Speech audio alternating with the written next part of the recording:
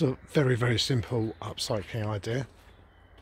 Um, this obviously had a uh, mirror in it, which was um, like a lot of mirrors end up being seven years bad luck.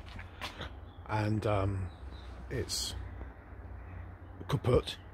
So, um, but don't just um, chuck the frames away, whatever. Obviously, this has got a hardboard, and um, just put it back in and paint it or um, decoupage it or put some material over it and just use it as a message board. I mean, actually, in many ways, it's